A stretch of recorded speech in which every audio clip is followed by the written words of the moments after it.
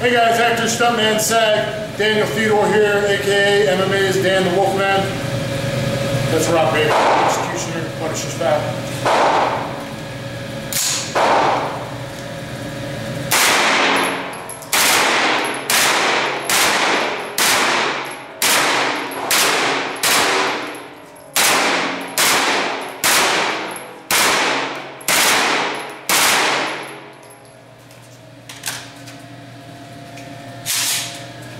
If